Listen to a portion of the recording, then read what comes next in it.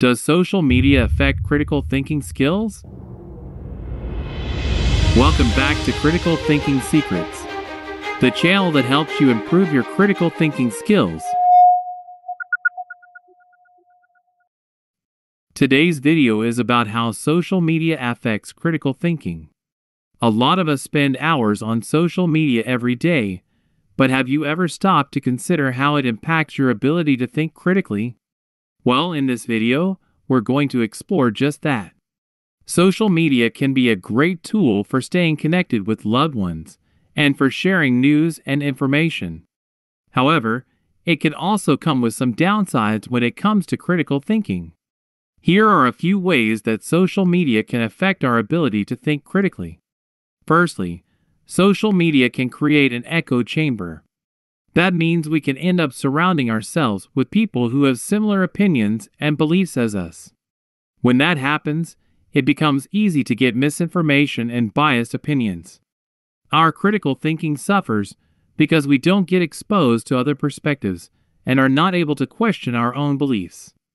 Another side effect of social media is that it can encourage knee jerk reactions and emotional responses. When we see a post or a news article that triggers us, our response may be to react emotionally and share the content without questioning its legitimacy or accuracy. The instinct to share without questioning can happen because social media platforms are designed to keep us engaged, and they use algorithms to surface content that elicits an emotional response.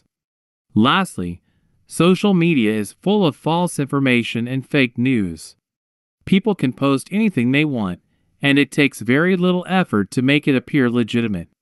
This kind of information can be harmful if it influences our decision making and beliefs. To wrap up, social media impacts critical thinking in many ways. It can present a narrow view of the world, encourage emotional responses, and spread false information. It is essential to be mindful of these pitfalls and make a conscious effort to think critically while consuming content on social media. Don't be quick to judge and share content without proper vetting.